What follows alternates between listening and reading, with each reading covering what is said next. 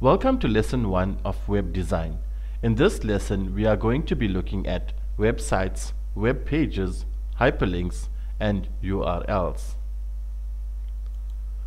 A website, to put it simply, a website is a collection of web pages.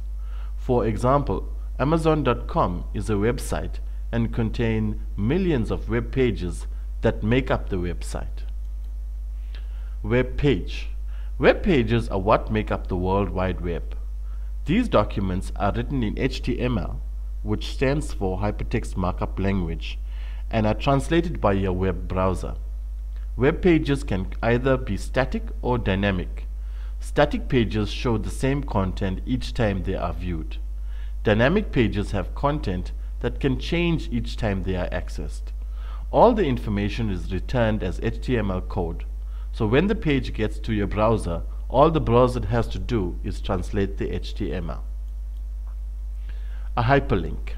A hyperlink is a word, phrase, or image that you can click on to jump to a new document or a new section within the current document. Hyperlinks are found in nearly all web pages allowing users to click their way from page to page. Text hyperlinks are often blue and underlined, but don't have to be. When you move the cursor over a hyperlink, whether it is text or an image, the arrow should change to a small hand pointing at the link. When you click it, a new page or place in the current page will open. URL. It stands for Uniform Resource Locator. A URL is the address of a specific website or file on the internet. It cannot have spaces or certain other characters and uses forward slashes to denote different directories. The first part of a URL indicates what kind of resource it is addressing. The second part of a URL, after the colon forward slash forward slash, contains the address of the computer being located as well as the path to the file.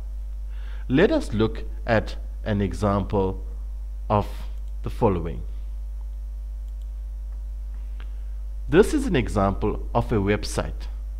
The website is based on the University of KwaZulu-Natal. On the top left hand corner we have what we call is the uniform resource locator which is basically the address of the website.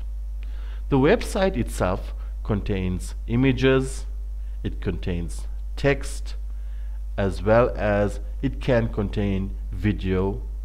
It has menus that are available. And if we look very closely, they also have hyperlinks. Note the change of my pointer.